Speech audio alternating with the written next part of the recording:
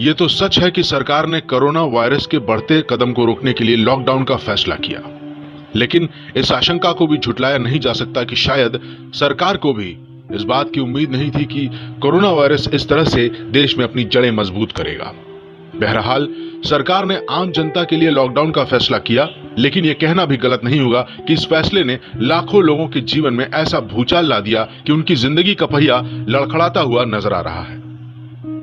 इस लड़खड़ाहट में खासकर ऐसे लोग शामिल हैं, जिनकी हाड़ तोड़ मेहनत से घर का चूल्हा जलता है। और कई लोगों के पेट की आग शांत होती है। ऐसे लोग लॉकडाउन के हताशा और निराशा के बीच मन में मंजिल तक पहुँचने की सोच लिए अधिक पैसा खर्च कर वाहनों अलावा पैदल भी घरों के लिए निकल पड़े हैं। इस दौरान उन्हें भूख की बेचैनी का सामना करने के साथ ही मौसम की तलखी की चुनौती भी झेलनी पड़ रही है। लेकिन इनके चेहरे को देखने से साफ़ पता चल रहा है कि बाहर के सोफे से अच्छी वो घर की चटाई है, जो इन्हें अपनी ओर खींच रही है। इन सब के मन में एक ही भाव है। सोचिए कि लॉकडाउन के बीच धीमे थके पाँव से घर को लौट रहे इन खामोश लोगों की खामोशी को आवाज़ मिल जाए तो वो क्या कहती है?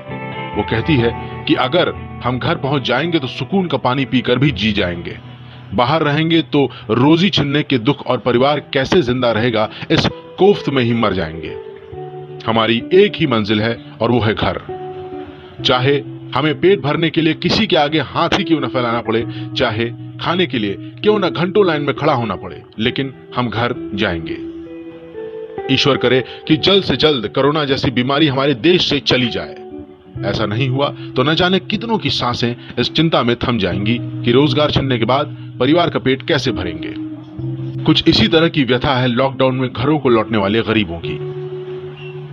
आपको बता दें कि लॉकडाउन के बाद मुंबई, दिल्ली, गुजरात आदि जनपदों से चार पहिया वाहन बाइक साइकिल के अलावा पैदल ही हज़ारों किलोमीटर की दूरी तय कर प्रवासियों के आने का सिलसिला जारी है।